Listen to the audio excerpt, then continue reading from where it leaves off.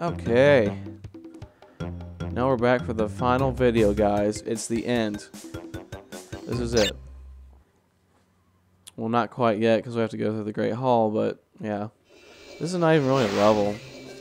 I mean, it takes you to the secret ending where pretty much Tawna's on a vulture and you fly away with her on it. That's it. That's the secret ending. But we're going to go out in style and go get uh, Cortex here. We're going to whoop him for taking our damsel. Our damsel in distress. Here it is, folks. The last boss of the game, Dr. Neo Cortex.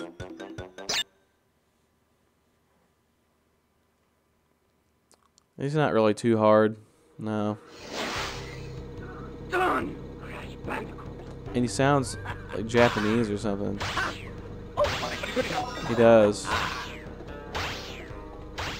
Yeah, how about that, dude? Huh?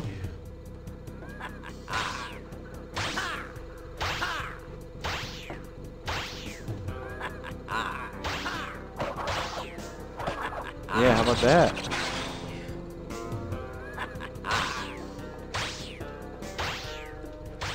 It's on fire, dude.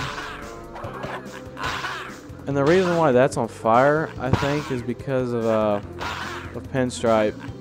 When he shut up that glass you guys saw, I think that's what caused this big old fire and shenanigans. He means business, doesn't he?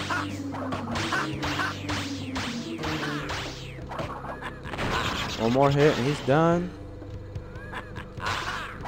See you, douche.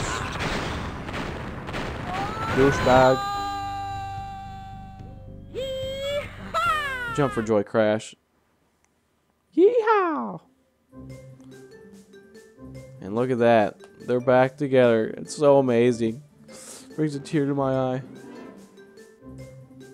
But yeah, guys, that was it. That was Crash Bandicoot. I have no idea what my next game is going to be, but uh, until next time, guys, this is your host, Drake Radcliff, signing off. Peace.